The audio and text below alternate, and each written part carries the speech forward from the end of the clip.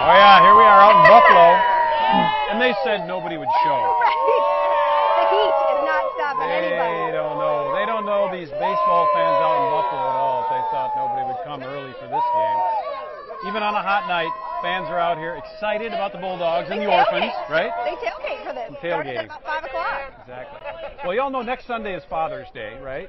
Right? You know that, right? Mm-hmm. Right, right, right. Here uh, with the Bulldog team, uh, next Sunday is also a very special Father's Day. There'll be a gift of sorts for the team next week. Yeah, Ramon Vega Sr. will be introduced into the North Star League Hall of Fame next weekend.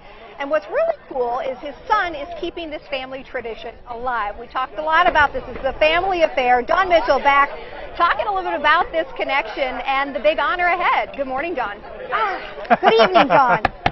Dang it. Good evening, Kelly and Randy. Yes, and I have senior and junior along with me. You set that up perfectly. First of all, both of you, thank you for joining us. But let's talk with the proud papa here for a second. You're going to be HOF for the rest of your life after coming up next week. How does that feel to have that coming up for you? Ah, that feels really great. You know, I was surprised when I got the test, you know, and I got a few phone calls, and I'm like, okay, and I like, you know, I was really shy about it. So, but you know, that feels really great, and like I say, I just don't know what else to tell this league, but this league is really important for all these players, and hopefully everybody know how far I gone so far playing this league, and I hope everybody else can learn from that.